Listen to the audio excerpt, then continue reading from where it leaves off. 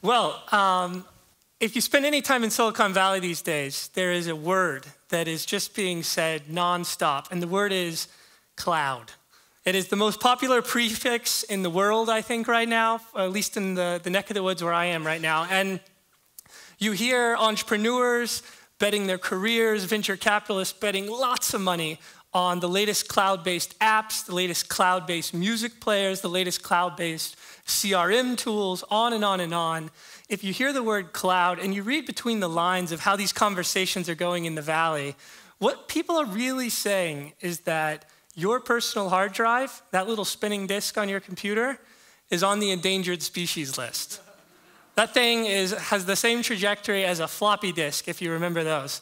Um, now, again, it's implicit. They're not out, coming out saying it, but if you look at where the money's flowing, if you look at where the talent's going, there's an incredible bet on the web.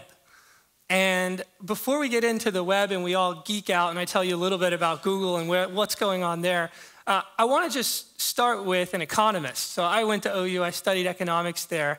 There's an economist by the name of John Kenneth Galbraith. And very smart guy. He passed away just a couple of years ago. Harvard trained, advisor to multiple presidents. He wrote a book in the 50s called The Affluent Society. Had some really interesting economics in it, but no one really remembers that as much. They remember a phrase that he coined in chapter two of that rather slender volume. And the phrase was conventional wisdom. He created that word, that phrase. And it's something that TED seeks to destroy every time it gathers, right? We want to tear down the conventional wisdom. And what was interesting about Galbraith, just humor me here as I do a little uh, economics 101 here. Um, Galbraith thought that when you look at things in life, there's really two things a careful observer should look for. They should look for the events, and he, he talked about the march of events and where reality was going, what people were doing. And then he said you should also be quick to follow that up and look for the ideas people use to interpret those events. And what was so penetrating about this chapter two in the affluent society, as you read this, as you can see Galbraith sort of noticing often in human affairs, a gap begins to grow between reality, this march of events, and the ideas people use to interpret reality, the perception of reality. So, if we take that as our backdrop, let's talk a little bit about the ideas people are using today when they do a very common experience when they go buy a computer. Now, I don't know if anyone's bought a computer recently. This is a grueling process. Um, whether you do it online or in a store, there's all kinds of gibberish you have to learn to make an informed decision as a consumer. I know because my parents or grandparents, whenever they're looking for a computer, they're quick to ask, and they're talking things about, you know, Josh, how many GBs should I get on my hard drive? and you just sort of scratch your head. But we've forced people, and more importantly, people have accepted the idea that when they go into a store, they get online, they're going to order a computer they're making these decisions. Should I get 500 GBs or 750 GBs or a terabyte, TBs, or whatever they're going to start calling that? And if you start to think about those are the ideas people have about a computer, that's interesting, right? That's the conventional wisdom that you need bigger and bigger hard drives, more and more GBs to actually do what you do on your computer. But if you're at any kind of place in Silicon Valley right now, and even outside the valley, if you're plugged into what's happening and sort of how quick things are changing, what you're realizing is, like I said at the beginning, that hard drive is not that important. It's actually quite sort of obsolete in many ways because the march of events, what ordinary consumers like you, like me, are using our machines for is actually to get on the web. That's what we're doing. And I just want to show you a few stats here because if you think about the video is great for setting this up because if you think about the profound shift that we're seeing, if you've studied sort of this industry or followed along with this industry for any number of time, you know since about 2004 there's a clear line. Before 2004 there were tons of applications that were written that came on CDs or you would download, you'd install on your computer and there'd be, you know, shortcuts on your desktop to get to them. That all stopped in about 2004 in terms of getting to wide reaches of people. So Skype was one of the last big applications to get a million active users through this kind of old method. If you look at 2004 onward, what you see is a flurry of innovation, a flurry of activity on the web. Developers are developing for the web for a number of reasons. And as the proliferation of cheap laptops and smartphones and tablets begin to sort of take the US and other countries around the world by storm, being able to reach into the web actually provides so many advantages. So I just want to show you some of the data. Again, these have been kind of clipped in the last few weeks um, and months. Tonight, when you go home in America, 20% of downstream internet traffic will be streamed on Netflix. Think about that. 20% of the pipe that's bringing internet into homes is being used to consume movies and TV online. Let's take YouTube. This is another one that's just shocking. Every minute, 35 hours of content is uploaded to YouTube. And at Google, we're having to revise this stat literally every quarter because it's just growing up and to the right. To put it in perspective, in movie terms, this is the equivalent, if we did this for a week, of just letting YouTube you know, exist like it does. It's the equivalent of Hollywood releasing 176,000 movies in one week. Massive amounts of content, right? Now, it's not just about movies and TV and YouTube and dogs on skateboards and other things you see on YouTube. There's actually this whole social layer to the web that's developing. And this, again, a stat about Facebook. You know Facebook, you probably are on Facebook. 600 million users around the world, very close to that now. 30 billion pieces of content shared every month. These are pictures, these are links. It's a lot of poking going on on Facebook every month. Now, the other one, I had to revise this stat yesterday. This is Twitter, right? 200 million users. The number of tweets a year ago per day, 50 million. It's now 155 million. And again, as the web becomes more and more integrated into our lives, these sort of name kind of name brand household names you guys have all heard of, they begin to just make sense. We begin to take this for granted. This is replacing the conventional wisdom that you need this big hard drive to do all this stuff. You can do this without a big hard drive. Now, I'm going to tell you about a couple of other things that I think are really fascinating that are coming on, that are sort of unconventional ways the web is sort of coming into our life. So, there's a group, and Jeff mentioned it earlier in the early session about called the Khan Academy. The Khan Academy, started by a young teacher, Sal Khan, a visionary, said, I want to use the web, specifically video on the web, to educate the next generation of students. And if you haven't spent any time on this, go to your favorite search engine, search for Khan Academy, it'll come up right at the top. 2006, he started this. He's now recorded 2,100 videos about K through 12 math, chemistry, biology, any, any subject matter you can think of. And he's delivered 43 million lessons plus and counting. Gates Foundation, Google, and others have just put written huge checks for this guy so he can expand his reach uh, with his content. So, education, again, some really innovative stuff. And again, it all revolves around the web. This is one of my favorite projects to come out of Google in the last few months. We, uh, again, this is what Google is just a really fun place to work. One of my friends said, What if we could digitize every painting in the world and put it online so anyone could come to a free mu- museum and come see it? Well, rather ambitious thought. Um, so, he set out with a small team of lawyers and some business development people, and they started talking to museums. They talked to the Met, the MoMA in New York. They talked to the National Gallery in London, the Hermitage in St. Petersburg, the Uffizi in Florence, the Van Gogh Museum in Amsterdam, where this painting hangs. This is Van Gogh, the bedroom. And we managed to strike all these deals, brought in our Street View technology, wheeled these sort of trikes around the museums, taking pictures of what these museums look like. And we were able, in some of these instances, to get super high resolution pictures. You could never imagine. So if we zoom in on the pillow, this is, you can see Van Gogh's brushstrokes here. And again, this is just another example of how the web is starting to just pervade all of our lives and what we're doing. Now, there's a small team at Google who started thinking about this about 18 months ago. And they said, you know, so much of this stuff's moving online, all these stats and many others. What happened if we really rethought this sort of computing experience. Because you see, a lot of operating systems that you use at work, that you use at home, were actually written back in the early 90s, before the web was such a central part of our lives. And so we got to thinking. And if you follow that extension, is that logic to it, it's sort of full extreme. You get a computer that has nothing but a browser on it.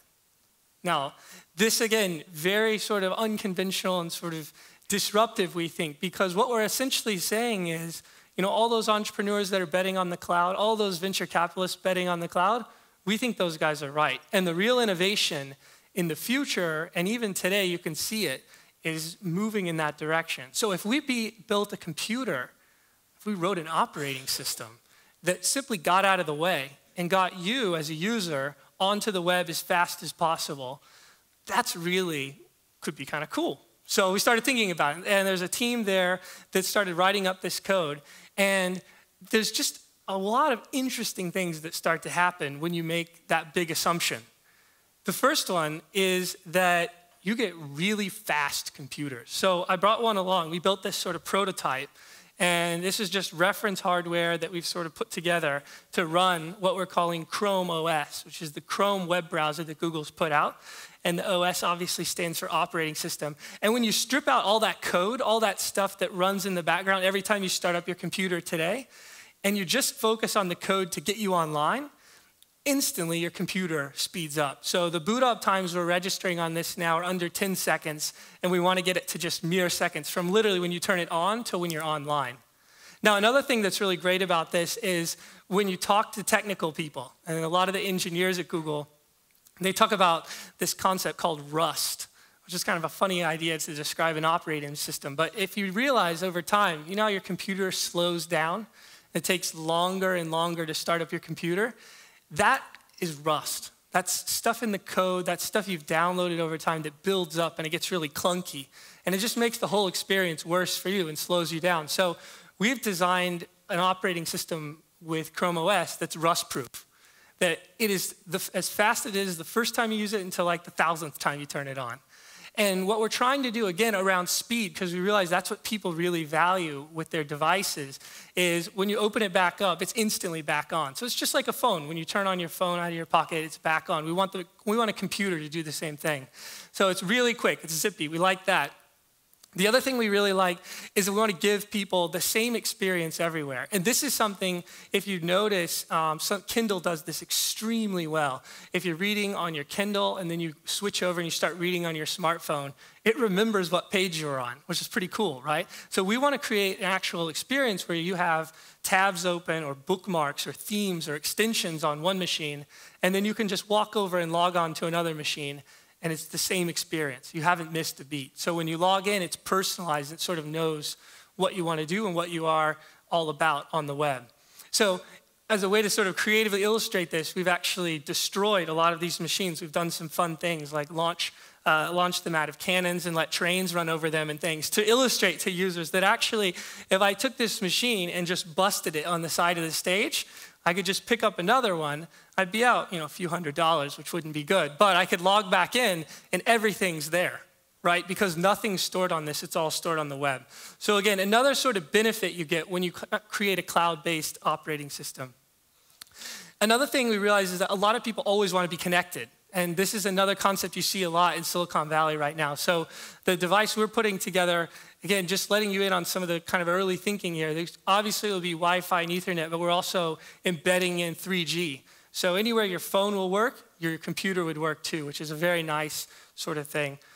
This is my favorite uh, aspect because this is the one that um, I like to describe. It passes the in-law test.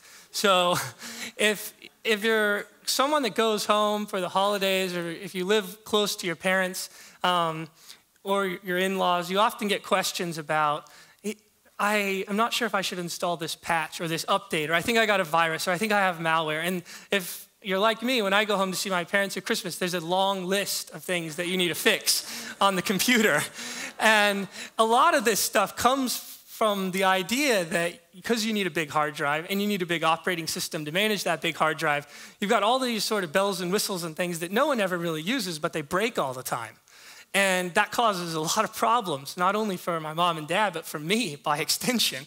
Um, so, what we've tried to do with this new operating system, again, built and optimized for the web, what we've said is every time it starts up, those 10 seconds right now, look for the latest updates. If there's any new you know, updates to the code, it'll automatically download them. So you've got the latest version running every time you start up. You never have to worry about updating things or you know, virus checkers and whatnot because it just happens in the background.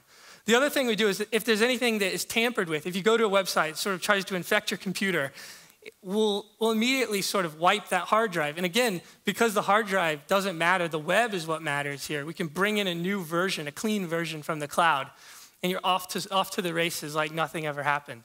So again, security built in. I think this will save a lot of times for sons and daughters at Christmas when they go home to their family.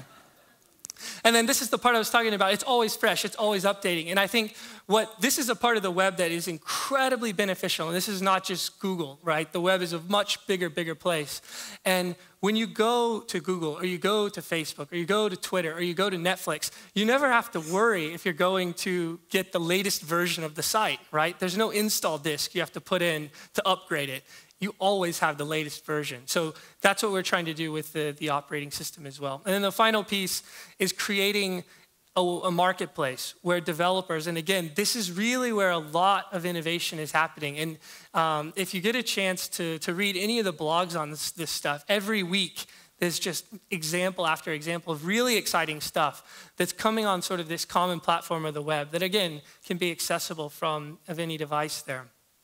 So that's a little bit about where we think things are going um, and how Google's trying to position for it. And it's, it's interesting when you kind of take a, a five to 10 year view looking back, you wouldn't necessarily have, have come to this conclusion. And there's a lot of kind of naysayers in the market today that think this type of experience is it's not quite time yet.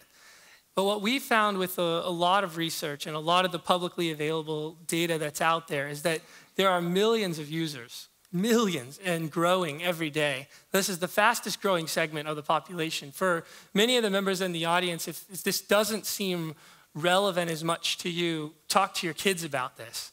Um, because there are entire sort of generations of people coming online, not just in the US, but around the world, where this type of experience we think is going to be a perfect fit for them. Now, it's interesting when you think about if we would have been alive thousands and thousands of years ago, there were heavily armored animals walking around the earth. They were dinosaurs. And if we were observing sort of the course of evolution, we had to make predictions on where things were going to go. I think a lot of us probably would have said their armor plating is going to get heavier and heavier. They're going to be bigger and stronger. And the future actually had a trick up its sleeve, right? They threw on Earth in some form or fashion these naked little human beings that were much, much smaller than dinosaurs, but had much bigger brains. And those brains are what made the difference in terms of who was going to master the planet over the next you know, millennia. And I think where we are in sort of the, the IT space and sort of where Silicon Valley is right now is we're in the middle of this sort of breaking point this sort of critical juncture where the conventional wisdom that says you need a bigger and bigger hard drive, we need terabytes of data on your local machine, your local laptop. I think that conventional wisdom is starting to fall out of step with reality.